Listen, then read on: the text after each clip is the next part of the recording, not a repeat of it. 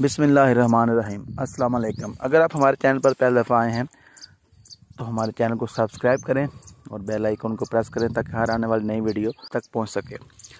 जी तो फ्रेंड्स, आज मैं आपकी खिदमत में हाज़िर हूँ। मोहम्मद आमर, जो कॉमिक क्रिएक्टर हैं, उनके हवाले से बातचीत करने के लिए। सोशल मीडिया पर अक्सर आप देखते हैं, मुख्तलिफ़ न्यूज़ चल रही होती हैं, क्योंकि बहुत सारे लोग ऐसे हैं जो कि मोहम्मद आमर को बहुत ज़्यादा पसंद करते हैं।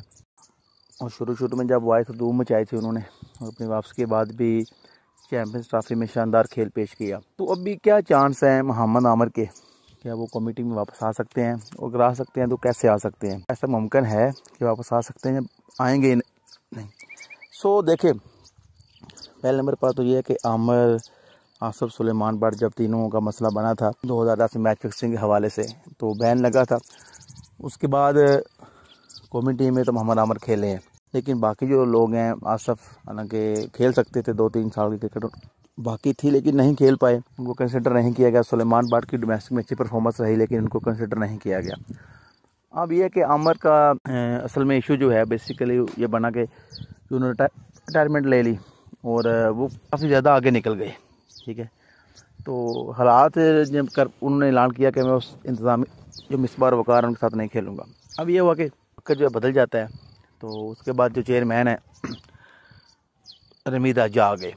जब रमीर राजा आ गए तो रमीर राजा ने ऐलान किया था कि वो ऐसे खिलाड़ियों को नहीं लेंगे जो मैच फिक्सिंग वगैरह में इन्वॉल्व रहे हैं। तो अब यह है कि आमर रिटायरमेंट में ही है। क्योंकि आमर ने कहा था कि मैं रिटायरमेंट जो है, अगर वापस ले लेता मुझे टीम में वापस नहीं दिया जाता तो मेरे लिए गलत होगा। यानी आमर चाहते थे कि बोर्ड उनसे कांटेक्ट करे।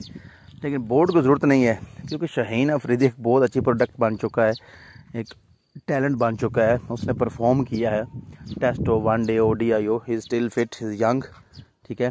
तो इज़ वेरी फिट ठीक है जी? तो अभी लग ऐसा रहा है कि मोहम्मद आमिर की जो वापसी है, कि वो नामुमकिन है, क्योंकि नया टैलेंट नसीम शाह काफ़ी गुरूम हो चुके हैं, ठीक है जी?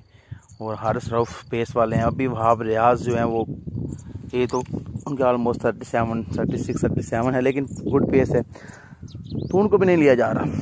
तो मेरे ख्याल में रमीज राजा नहीं वापस लेंगे आमर को बिल्कुल भी। कोई ऐसा चांस नज़र नहीं आ रहा कि आमर को वापस लेंगे।